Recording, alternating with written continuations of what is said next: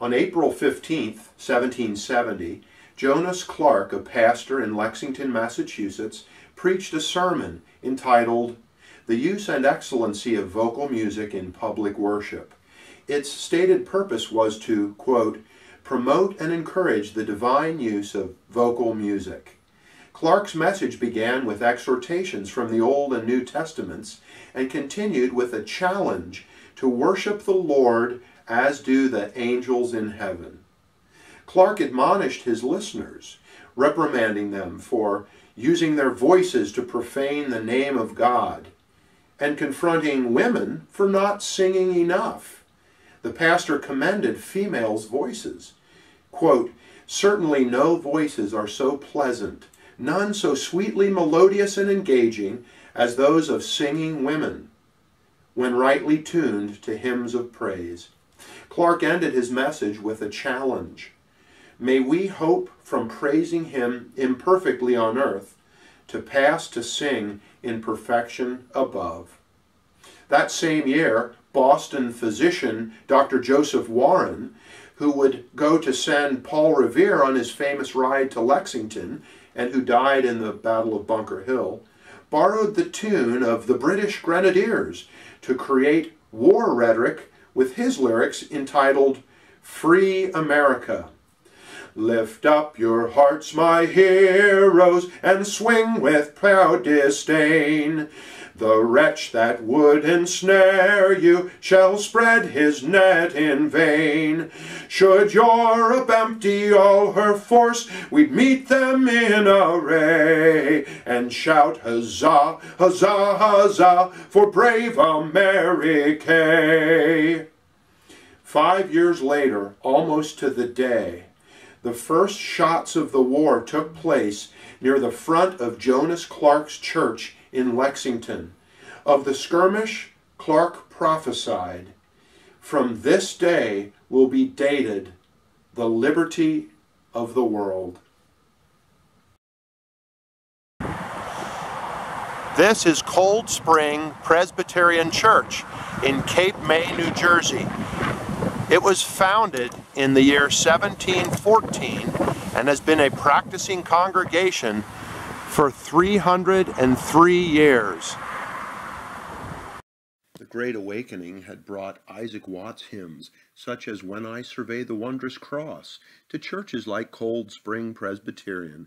Further, the Wesley Brothers' first hymnal, published in South Carolina in 1737, had begun to spread evangelical lyrics throughout America. It included hymns like Christ the Lord is Risen Today. Pastors like Samuel Davies helped grow the popularity of hymns and the performance of anthems by trained choirs. Churches generally limited the use of instrumentation in worship music, but by the eve of the American Revolution, opinion was changing. Particularly with regard to the organ, instruments were increasingly seen as agents of inspiration, which could point listeners' hearts toward heaven. Music undoubtedly reflects and perhaps influences the emotions and motivations of people groups. Arguably, its impact is compounded in time of war. During the American Revolution, ballads, hymns, and marches provided outlets for the colonists' creative energies and collective anxieties. For the Patriots, there were schools, homes, concert halls, taverns, and especially churches at which young and old gathered on a regular basis throughout the war. At these gatherings, whether scheduled or spontaneous, Americans talked, fretted, prayed, and sang. While their music did not necessarily give the Yankees a tactical advantage, it undoubtedly heightened Americans' focus and galvanized the hearts and minds of men and women in towns and cities, in the state militias and the Continental Army in the glorious cause of fighting for liberty from the crown. And even conscientious objectors were unified through their music. Several founding fathers spoke of the benefits of music to the human psyche. Dr. Benjamin Rush claimed that music, quote, civilized the mind, and that certain notes stimulated brain functions, maybe even enhancing long term memory. John Adams hailed music's power of emotion, quoting, Music is capable of raising in the mind every tender, generous, noble passion and sentiment. Benjamin Franklin himself, the inventor, improved upon an instrument, musical glasses, and he dubbed his invention the harmonica. Its popularity spread to Europe, and even Beethoven and Mozart asked to purchase one. Local bookstores, too, in cities like Philadelphia, would sell sheet music by the latest composers from Europe Vivaldi, Corelli, and especially George Friedrich Handel. We are going to go on a journey through south central Pennsylvania, starting here at Bindnagles Evangelical Lutheran Church, just north of Palmyra. Our journey will take us from Bindnagles to Salem Lutheran in Lebanon, then down to Lancaster County and the Lititz Moravian Church, then across town to Ephrata Cloisters, then we'll go a longer distance to Valley Forge before returning back to Bindnagles.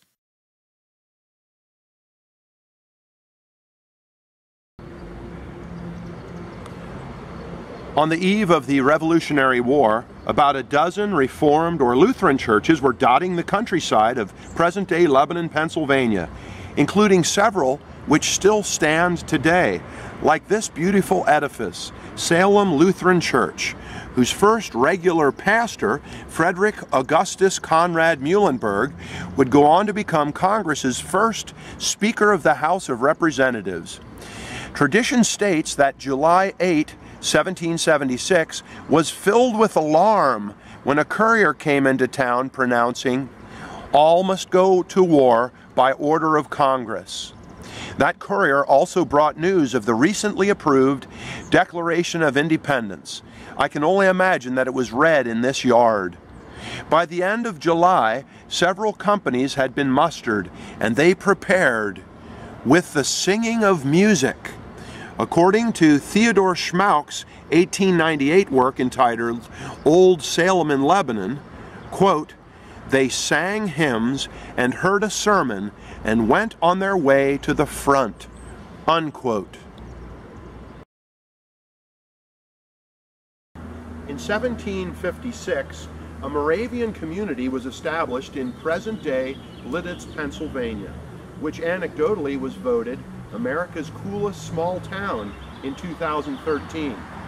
Named for a castle back in Bohemia, Lititz was a mission field for the world's oldest international Protestant denomination, Moravians, who believed in humanitarian aid, quality education for men and women, and an interpretation of the Sermon on the Mount which forbade the swearing of oaths or the bearing of arms.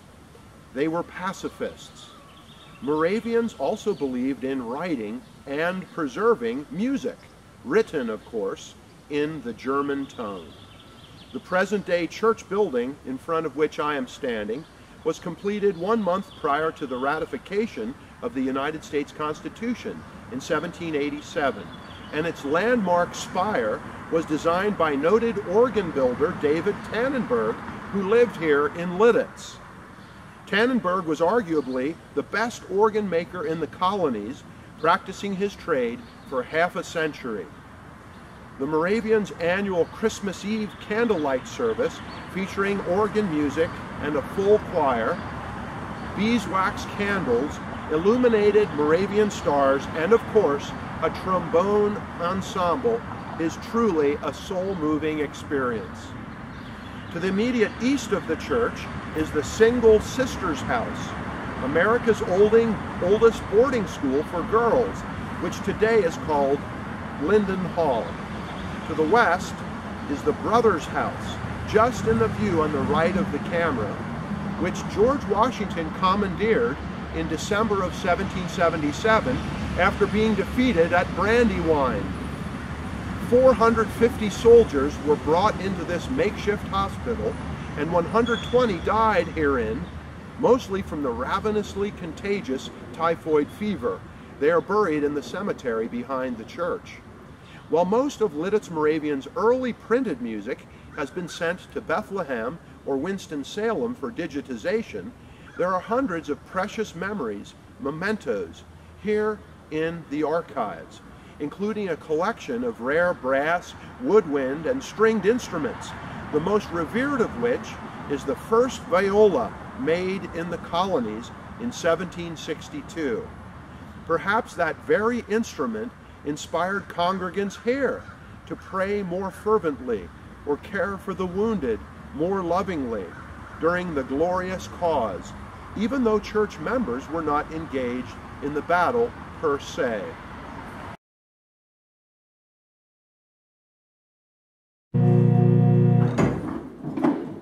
This is your four foot flute.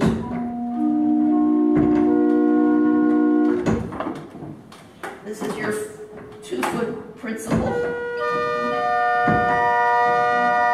Notice I'm using the same keys. The, the length of pipes changes the octave. This is your eight foot gedeckt. Marion, that is beautiful. Thank and you. This is your full organ.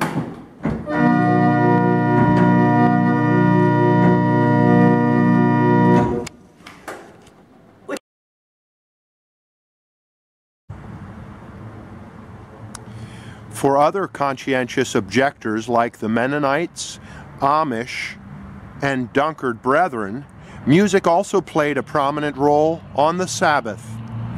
Such was the case with the Seventh day Baptists here at the Ephrata cloisters. Conrad Beissel wrote many of the hymns which were sung by the Ephrata community, whose members practiced celibacy, placed themselves on a sparse vegetarian diet, and slept minimally, all in anticipation of an imminent return of Christ.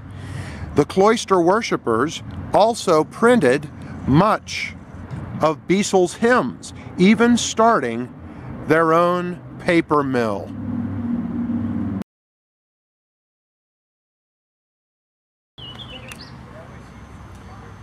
While situated near Brunswick, New Jersey, on June 4, 1777, George Washington complained that the music of the army was, quote, very bad, adding, nothing is more agreeable and ornamental than good music.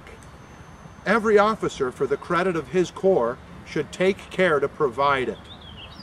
Washington ordered that fife and drum majors improve their training methods at the risk of demotion or, worse yet, having, quote, their extraordinary pay taken from them. The musicians rose to the challenge and it paid off eight months later.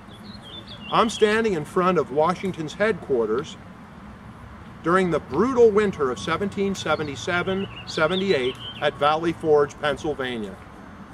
Outside this building, a dejected George Washington was serenaded for his birthday by the Proctor's artillery, fifers and drummers. He rewarded them with a payment of one pound ten shillings and praised them for their fortitude despite the frigid conditions. Might that surprise performance of music have made a small difference in the outcome of the winter at Valley Forge or even the war itself? We may never know that answer. Prussian-born Baron von Steuben, recruited here to raise the morale of his troops, found Washington's men in need of organization and training. So, as spring approached, they drilled.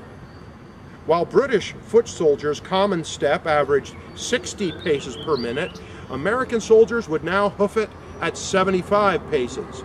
And for either army, quick step ran to as fast as 120 steps per minute von Steuben recommended that instrumental music be played to enhance the speed of forming lines and the efficiency of communicating battle orders. Lieutenant John Hiwell, a Fife major in the 3rd Continental Artillery Regiment, was assigned this role. Hiwell's work led to the normalization of eight-piece performing bands, including oboe, bassoon, horn, and clarinet. The Continental Army relied on these musicians to enhance morale and add to foreshadow, to foreshadow ceremonies.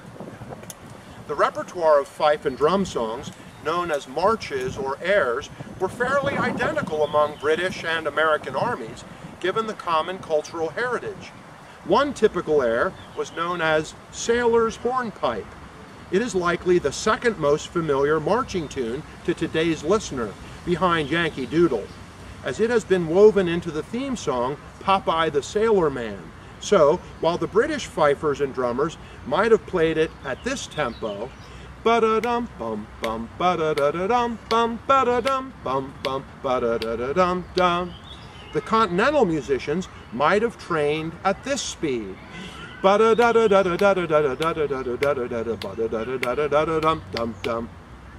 While the tune to Yankee Doodle has a disputed origin, its, its original lyrics, circa 1750, are attributed to British army surgeon who was mocking the colonial provisional army. Patriot statesman Francis Hopkinson parodied the parody by penning the lyrics known as the Battle of the Kegs, based on a story of two powder kegs primed and sent into a river in New Jersey so that they would explode on contact. Here's verse 2 of 6. These kegs now hold the rebels bold, packed up like pickled herring, and they're come down to attack the town in this new way of ferrying. Therefore, prepare for bloody war. These kegs must all be routed, or surely we despised will be, and British courage doubted. Hopkinson went on to sign the Declaration of Independence and purportedly published the first music book in American history, Seven Songs for the Harpsichord. In 1778, Hopkinson wrote a toast in honor of General Washington. Its words capture the adoration felt for the commander of the Continental Army. Tis Washington's health, our hero to bless. May heaven look graciously down. Oh, long may he live, our hearts to possess, and freedom still call him her own. William Billings, America's first composer of sacred music, wrote American lyrics to a British march entitled Chester. This became the anthem of the Continental Army. The lyrics resemble a hymn as much as a march. When God inspired us for the fight, their ranks were broke, their lines were forced. Their ships were shattered in our sight, or swiftly driven from our course. Some war music lauded other heroes, both civilian and soldier. While the stories might have been exaggerated, they were hardly abbreviated. One particular ballad, heralding John Paul Jones, had 14 verses. Other songs taught the alphabet using war references, or satirized Mother England as a doting parent, reddened with rage, with daughter America as a defiant child, as in the ballad The Rich Lady Over the Sea, written following the Boston Tea Party. On June 19th of 1778, the Continental Army left this encampment refreshed, renewed, refocused, and resolved with music playing a role.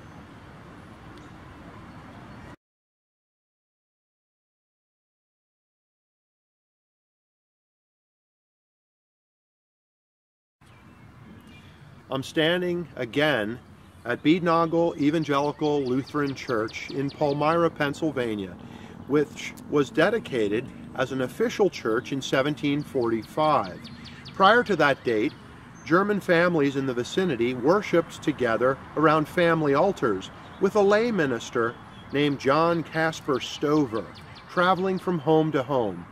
Music performed here would have been sung a cappella in the native German tongue while Presbyterians preferred psalters, Martin Luther's descendants enjoyed hymnals with printed lyrics, and the unprinted melodies learned experientially.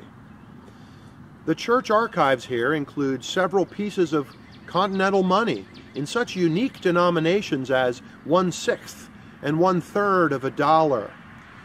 General Washington had asked Congress to print money with which to pay soldiers, in part to discourage desertion. Even though the currency had questionable value, the fact that soldiers were giving their offerings to God suggests that the worship experience, including music, was meaningful to them. In the waning years of the 18th century, with the war behind them, partisan politicians nonetheless led to some singing of nasty lyrics. Political opponents used music to ravage each other's personal goals, priorities, and political campaigns. For the large part, however, music played a unifying function within the communities of our nation. The lyrics attempted to portray the young republic in metaphors of a building, a ship, a family, a physical body. Committees prepared poems, toasts, cheers, and of course, music to highlight annual events like George Washington's birthday, Independence Day, and the anniversary of Thomas Jefferson's inauguration. In the words of Kirsten, Kirsten Wood, music which encouraged musical harmony spoke to the possibility of future political harmony. Quote, it provided newly independent Americans with an inspiring set of reasons to believe and feel that their political union would endure.